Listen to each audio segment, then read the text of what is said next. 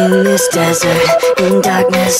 Lying with a gun across his chest Pretending he's heartless. As the fire flashes in the sky He was fragile and frozen. When the bullet took away his friend And now he's somehow more broken. He's